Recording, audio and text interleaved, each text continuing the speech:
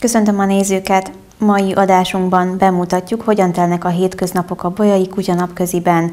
Emellett a kedvenceink egészségért felelős oltásokról is beszélgetünk. Ha tehetik, tartsanak velünk!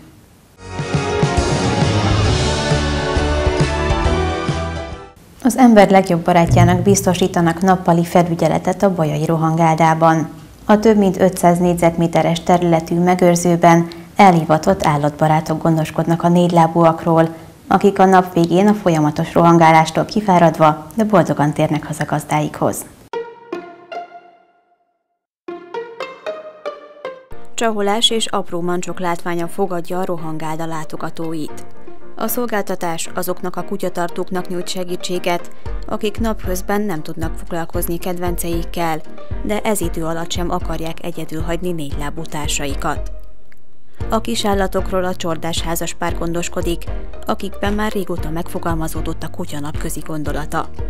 A vállalkozással elsődlegesen azt szerették volna elérni, hogy lehetőséget teremtsenek arra, hogy a négylábúak fajtásaik társaságában töltsenek el némi időt. Régóta szerettünk volna olyan vállalkozást, ahol kutyákkal tudunk foglalkozni, és mivel ez a terület ez kiaknázatlan itt a környékünkön, ezért adta magát a lehetőség, hogy nyissunk egy kutyanapközit. Hozzá tartozik a szállítás, tehát igény esetén elmegyünk a kutyusokért, és a nap végén vissza is visszük őket. Amikor megérkeznek a kutyusok, akkor elkezdünk foglalkozni velük, ez játékban minősül meg, mi nem tartunk képzést a kutyáknak, tehát nem vagyunk kutyaiskolások, nem képezzük őket, foglalkoztatjuk, lemozgatjuk őket, folyamatos felügyelet vannak felügyelet alatt állnak. Napközben mindig van egy körülbelül egy óra siesta, el vannak rakva a hűs, klimatizált helységbe, időszaknak megfelelően, akkor mi is el tudjuk végezni a dolgainkat, ebédelni tudunk, és akkor felváltva utána jövünk, és folytatjuk. Délután pedig van egy sétáltatási részlegünk,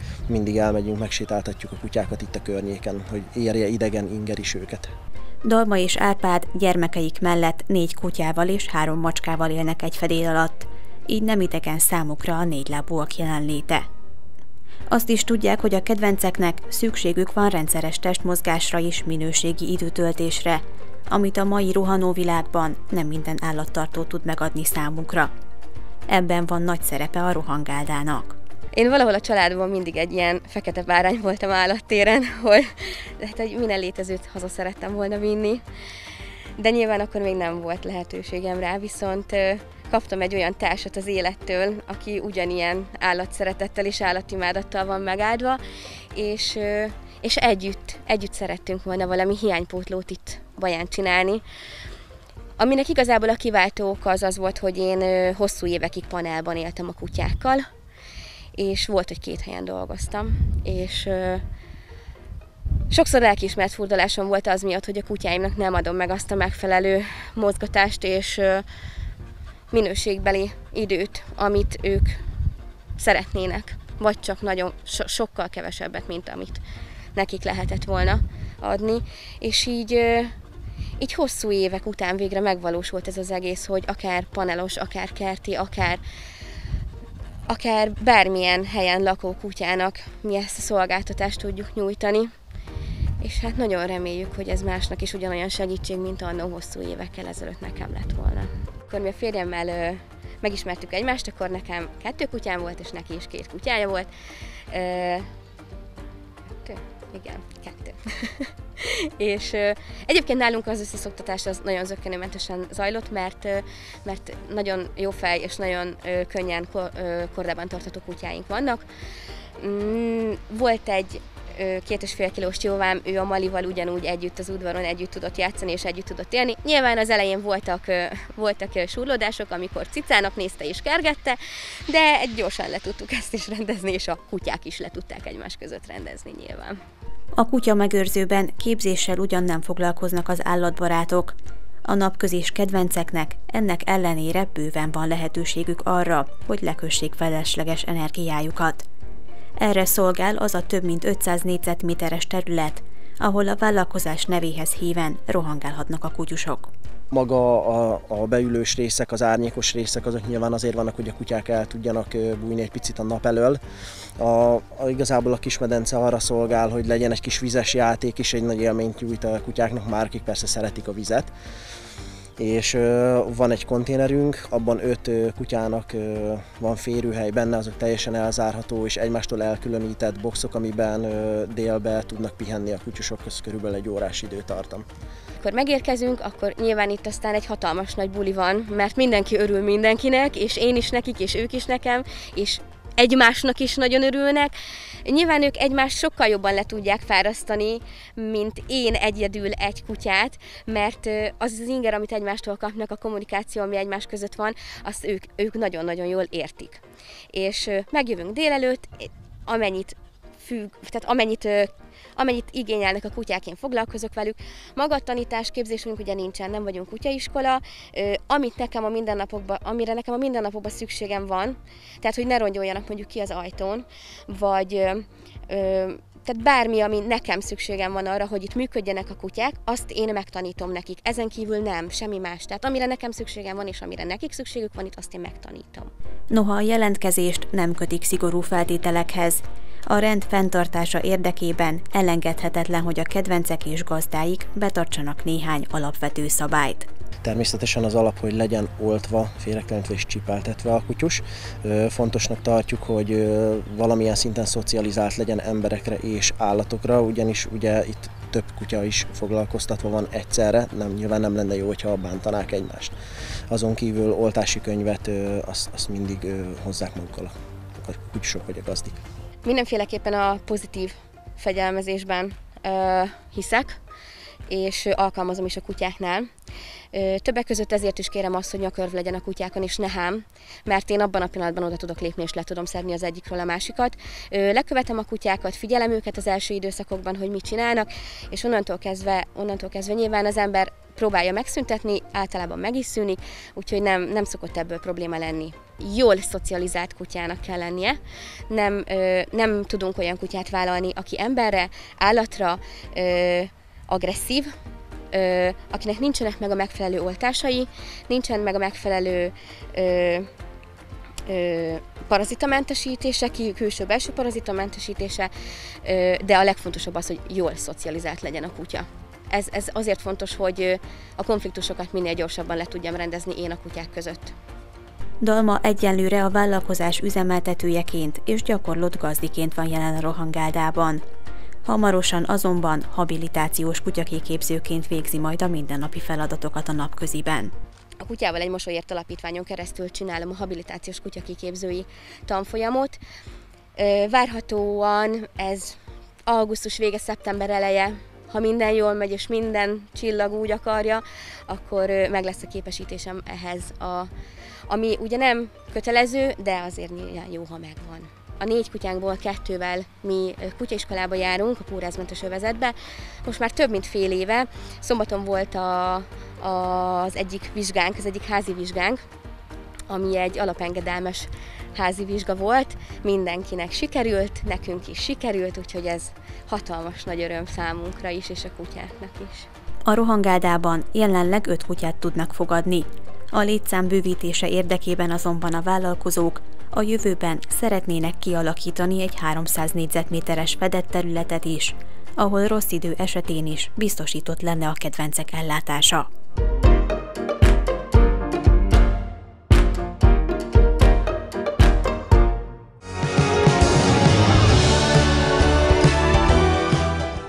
Kedvenceink védelmét szolgálják a különböző vakcinák. A védőoltásoknak nagy szerepük van a megelőzésben, Többek között erről is beszélgettünk dr. Tóth Csendorfi Gabriella állatorvossal. Gabi, köszöntenek a műsorban. A mai alkalommal arról beszélgetnénk, hogyha valaki esetleg házi állatot szeretne maga mellé, és szeretné bővíteni a családot egy kis állattal, akkor ugye elengedhetetlen, hogy gondoskodjon az állatoknak a, a biztonságáról is. Ebben nagy szerepük van a különböző oltásoknak. Mik azok, amire a téma kapcsán érdemes elsődlegesen felhívni az állattartók figyelmét, hogyha például valaki egy kölyök kutyát fogad maga mellé, akkor mik azok az oltások, amiket már egészen picikorban be kell adni, hogy érdemes beadatni az állatoknak? Köszönöm szépen, hogy újból itt lehetek. Kérdésedre válaszolva, fontos, hogy minden helyről hozzák azt a kiskutyát. Egy gondos gazdi, egy gondos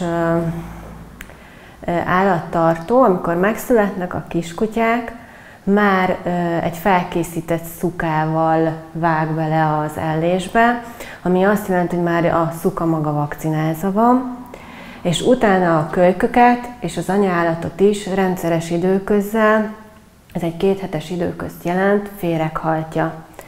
És egy ilyen állapotban azt szoktuk javasolni, hogy már egy oltással rendelkezzen, egy parvovírus elleni oltással a kölyök kutya, amikor hozzánk kerül az új, újdonsult gazdihoz. Ha ez nem történik meg ott az alomban, akkor mindenképpen javasolható, hogy amikor elhozza a kiskutyát, legalább telefonon vegye fel a kapcsolatot a leendő állatorvosával, és kérdezze meg, hogy mikor ö, tudnak eljönni egy parvovírusos oltásra. Ezzel úgy gondolom, ezzel kellene nyitni a sort minden kölyök kutyánál. És természetesen utána ennek folytatása is kell legyen, hiszen az immunstátusz változik, és nekünk az a lényeg, hogy megfelelő időben adjuk be azt a vakcinát, illetve ehhez már más betegségek elleni védőoltás is társulni fog a későbbiekben. Mi történik akkor, hogyha ez az oltás elmarad? Milyen következményei, milyen szövődményei lehetnek akkor, hogyha egy kölyök kutya nem részesül ebben a nagyon fontos vakcinában? A parvovírusos fertőzés az jelen van a kutya populációban most is. Tehát azért akad olyan állat, akit ezzel hoznak be, általában kölyök állat, és azt kell például erről a betegségről tudni, hogy komoly halálozási rátával bír, tehát egy nagyon erős fertőzést tud kialakítani, hogy mindenképpen a megelőzésre kellene a hangsúlyt fektetni. Természetesen a többi betegségnél is elmondható, hogy jelen van a, az állatpopulációban az, a kutyák között, más arányban.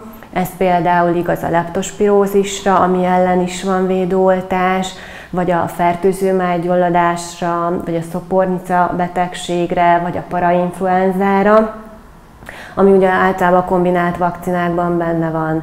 Mondjuk egy menhelyről érkező állatnál egy szopornica például előfordulhat, vagy egy rendszeresen erdőben kiránduló, vagy rákcsálókkal is találkozó állatnál egy leptospirózis előfordulhat, az említett több, tehát a parvovírus az rendszeresen jelen van, a többi betegség az inkább ritkábban, de még ezek is előfordulnak. Én úgy gondolom, hogy egy gondos gazdi, aki eldöntötte, hogy ő azzal az állattal együtt szeretne élni, akkor az állat egészségének védelme érdekében ezt a kombinált oltást szerintem kérje, és természetesen ezeket ismételni is kell.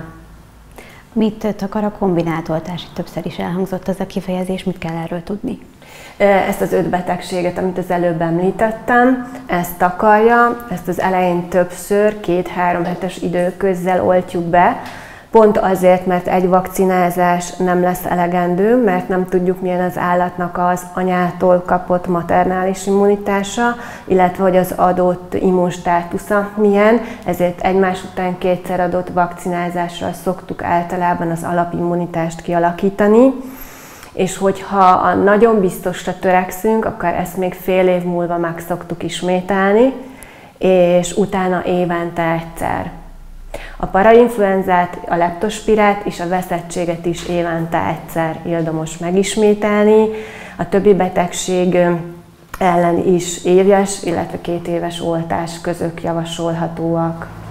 Elhangzott ugye a veszettség elleni védőoltás, ezt nem győzzük hangsúlyozni évről évre, hogy mind az állatokra, mind pedig a gazdáikra milyen veszélyt jelenthet maga a veszettség a védőoltással hogyan tudjuk megelő, megelőzni a probléma kialakulását? Ugye az elmondott vakcinázások mind ajánlások. A veszettség az kötelező, tehát az törvény által előírt kötelező joga a gazdinak, illetve itt zárójában említem meg, hogy ezt a mikrocsipezéssel együtt kötelező a gazdi megtenni, vagy vállalni. Pont a Nébi honlapját olvastam, mielőtt jöttetek, és ott írják, hogy 2017-ben még Magyarországon egy rókában és két kecskében előfordult a veszettség. És ugye ez egy zónózis, tehát emberre is átterjedő, egy nagyon komoly idegrendszeri tünetekkel is járó betegség. Hivatalosan az ország akkor mentes, ha két éve nem fordul, nem fordul elő. De miután mi egy olyan ország vagyunk, ahol a szomszédos országokban még jelen van a veszettség, és így állatokkal áthurcolható, ugye ők nem ismerik a határokat, ezért fontos, hogy mi védjük a populációnkat, tehát az, az állatokat. Azért, mert egy nagyon súlyos betegség, amit embernek át tudnak adni. Ezért kötelező évente egyszer a veszettség, illetve hivatalosan úgy van, hogy az első oltást azt három és négy hónapos kor között, tehát a kutya legkésőbb négy hónapos koráig kell, hogy megkapja, majd fél éven belül a következőt. Ezzel az oltással tudunk egy olyan veszettség elleni immunitát kialakítani, ami már véd, és majd évente egyszer kell ismételni. Arra van esetleg szabály vagy előírás, hogy mikor kell beadni ezt a vakcinát, az évente ismétlődő vakcinát, vagy ez a gazda maga dönti el, hogy mikor kéri ezt az oltást? Hát ugye azt említettem, hogy az elsőnél van az a szabály, hogy az legkésőbb az állat négy hónapos koráig, majd utána hat hónapon belül a következő, és végül is az a hat hónapon belül beadott utolsó, tehát az egy éven belüli utolsó oltás fogja megadni, hogy mit számít egy éven egy évnek, tehát 12 hónapra rá. És ez gyakorlatilag az állat születési korához képest igazodhat. Tehát nem tudom azt mondani, hogy csak ősszel vagy csak tavasszal, igazából ezt meg kell nézni, hogy mikor jár le, melyik hónapban, és abba, kell, abba a hónapba kell elvinni az állatot még egyszer. Szó volt a menhelyről mentett, vagy a menhelyről örökbefogadott állatokról is, az ő esetükben mire érdemes odafigyelniük a leendő gazdiknak oltások tekintetében? Hát az elmondottakra eddig, illetve nagyon az a tapasztalatom, hogy most már minden menhelynek van állatorvosa, és általában úgy adják oda a kutyákat, vagy a felnőtt állatokat is, hogy már oltott állatokat kapnak, sokszor szívféreg szűréssel is rendelkező állatokat kapnak.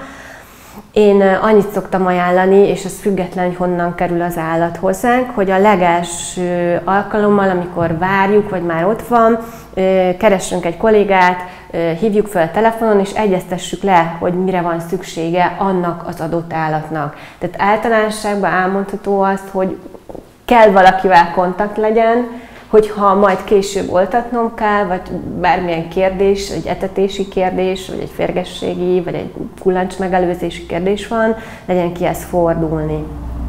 Ugye az oltások is, ahogy te is említetted, azért is fontosak, mert különböző számos betegséget tudunk megelőzni általuk. Mi van akkor, hogyha valaki elfelejt, elfelejti ezt az oltást, megfeledkezik róla, és megtörténik a baj, milyen lehetőségek vannak akkor?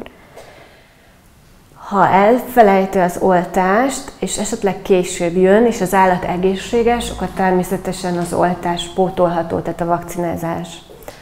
Ha elfelejtődik, és az állat betegen jön, akkor a betegséget kell kezelni, egészségessé kell tenni, egy csúnya szóval, és utána lehet oltatni. Tehát először meg kell abból a betegségből gyógyítani, és utána lehet az egészséges állatot oltani. Annak ellenére, hogy mondjuk betegen hoznak be egy állatot, ha sikerül kikezelni őt a betegségből, azután is gondoskodni kell az oltásról. Célszerű, igen. igen. Hát akkor mindenképp elmondhatjuk, hogy több szempontból is fontos és érdemes odafigyelni ezekre az oltásokra, az ajánlott és a kötelező oltásra természetesen mindenképp, hiszen ez nem csak az állat, hanem sok esetben akár a gazdák javát is szolgálhatják. Én azt szoktam mondani, hogy a kombinált oltás védi az állatot, a veszettség elleni oltás meg bennünket véd. Tehát igen, a kérdésre válaszom. Vannak egyéb vakcinák is, például egy, fe, egy légúti fertőzés esetén, vagy annak megelőzésére rövid orrú brachiocefálfajtáknál ajánlható más vakcina, de ezek általában több törzset tartalmaznak egybe, tehát nem csak egyet. A veszettség az csak egyet, de meg a parvovírus, de általában elmondható, hogy ezek kombinált vakcinák, tehát több betegség ellen védenek. Én gazdaként kérhetem azt, hogy nem tudom, ezt a különböző oltást adjátok be az állatnak, vagy? Bármit lehet kérni. Például van a kenelköhögés elleni vakcina is. Itt mindig mérlegelni kell azt, hogy mennyire rizikós az adott páciens, az az adott állat, és ha én, vagy például gombafertőzés kezelésére, vagy megelőzésére is van vakcinánk, mérlegelni kell, hogy igen, akkor most ő egy olyan környezetben van, ahol igen, ez elfogadható, sőt, én ajánlom fel, mert mondjuk egy rövid órú brachiocefál fajtánál a felső légúti megbetegedés erősebb tünetekben jelentkezhet, ezért lehet, hogy érdemes ellene védeni vagy egy, egy olyan gombás megbetegedés, ahol a labor visszaigazolja azt a törzset, amire én a vakcinát be tudom adni, és tudom, hogy utána meggyógyul, akkor egyértelműen be fogom adni a vakcinát. Ez mind, a többi az inkább ilyen egyedi elbírálás alapján, de abszolút kérhető, és meg kell konzultálni, és ha nincs, el, tehát nincs ellenvetésem, akkor én beadom, persze. Ö, illetve sokszor fel is kell ajánlanom, mert a gyógykezelés részét képezi. Vannak olyan mellékhatások, vagy olyan negatív következményei, amire érdemes felhívni, vagy fel kell hívni az állattartók figyelmét a vakcinák kapcsán? Vannak erősebb és kevésbé erős vakcina. Például én is kettő típusú tartok. Az egyikben négy darab leptospira van, ami sokszor okoz helyi duzzanatot. Én ezt, hát sokszor van, hogy okoz helyi duzzanatot. Én ezt fel szoktam hívni a tulajdonos figyelmét arra, nem kell megijedni, ha helyi duzzanat alakul ki, mert el fog múlni. Onnantól kezdve, hogy felhívom rá a figyelmet, ő már nem fog megijedni, természetesnek vesz, és tényleg elmúlik. A, nagyon ritkán előfordul allergiás reakció az adott vakcinára, tehát ott a, annak a gyártónak a, a vonalát szoktuk utána kerülni. Ilyenkor ö, vissza kell hozni, és azt az allergiát kezeljük, beírjuk a kis könyvbe, hogy mit tapasztaltunk, tehát legközelebb másik típusú gyártó vakcináját adom, de ez igazából elhanyagolható, és mindig egyedi, tehát egy-egy eset, és ezt lehet kezelni. Amiről még nem beszéltünk, de gondolom, hogy ez az állattartók tekintetében egyértelmű, hogy mint minden egyes vizsgálatra, így az oltásra is célszerű, nem célszerű, kötelező magukkal vigyék azt a kis, az említett kiskártyát és könyvet, amivel igazolni tudják az állat adatait, korábbi egészségügyi előéletét. Kicsit szerencsésebb helyzetben vagyunk mi állatorvosok, mert hogy a kutyákban általában van mikrocsip, a macskákban van, hogy van, vagy van, hogy nincs tehát ha netán elfelejti a gazdén, akkor is tudom általában azonosítani az állatot illetve a megfelelő rendszerbe és a mikrocsip alapján hogy fel tudom őt regisztrálni. De természetesen célszerű elhozni, már csak azért is, hogy ő be tudja bizonyítani, hogyha esetleg történik bármi harapás, hogy de az én állatom az be van vakcinázva. Az elmúlt percekben a kutyák kötelező és ajánlott oltásairól beszélgettünk, de nyilván nem ők az egyetlen állatfaj, akik esetében szükséges gondoskodni a védőoltásokról. Mi van a nyuszikkal, a nyulak esetében mire kell odafigyelni?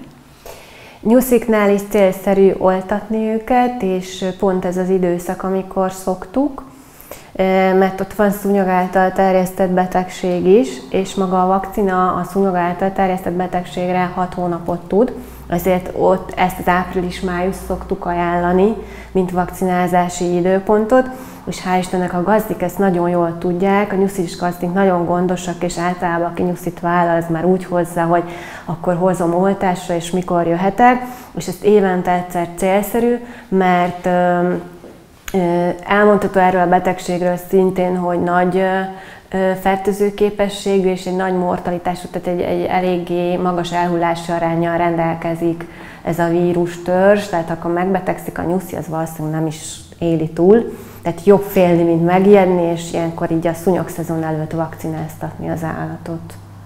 Akkor mindenképpen elmondhatjuk, hogy fontosak az oltások, figyeljünk ezekre, figyeljünk a megfelelő időpontra, és ne hagyjuk figyelmen kívül az esetleges kockázatokat. Köszönöm szépen a beszélgetést! Szívesen, én is köszönöm.